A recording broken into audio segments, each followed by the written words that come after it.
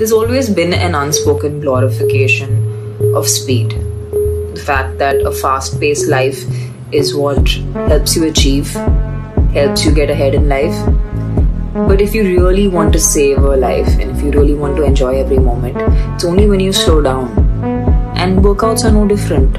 It's only when you slow down in your workouts do you actually savor the burn and you feel like you are getting stronger. You can feel your muscles are getting stronger. You feel your heart thumping harder, and that's what prepares you for anything that comes your way.